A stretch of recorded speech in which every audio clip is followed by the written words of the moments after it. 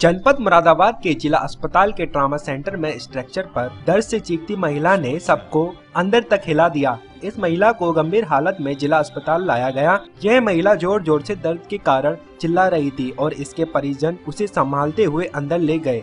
देखने से लग रहा था जैसे मिट्टी के तेल से जली हो, क्योंकि मिट्टी तेल की बदबू भी बहुत तेज़ी से पूरे हॉल में फैल रही थी। महिला को इलाज के लिए अंदर ले जाया गया तो महिला के परिजन घबराए से बाहर खड़े इंतज़ार करते रहे।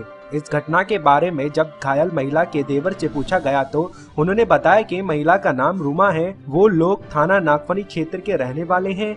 अभी कुछ देर पहले रूमा मिट्टी तेल के स्टोव पर खाना बना रही थी कि अचानक स्टोव फटने से रूमा के कपड़ों में आग लग गई। रूमा के पति मजदूरी करते हैं और वो घर पर नहीं थे। हम लोग ही रूमा को लेकर आए हैं। बुरी तरह से झुलसने के कारण घायल महिला की हालत गंभीर बनी हुई थी। और डॉक्टर्स के मुताबिक पीड़ित लगभग पिछहत्तर प्रतिशत जली हुई थी। अजीम कहाँ के रहने वाले हो? थाना कौन सा पड़ता है? ये जली है कौन है आपकी? क्या नाम उनका? क्या हुआ कैसे हादसा हुआ? क्या बता रहे हैं घर के लोग? अच्छा। तो स्टोव पे क्या खाना बना रहे हैं? क्या चाय बना रही थी खाना ही बना रही हूँ। अच्छा। तो कितनी देर पहले की घटना है? करीब एक घंटा कितने बच्चे हैं इनके? तीन बच्चे थे।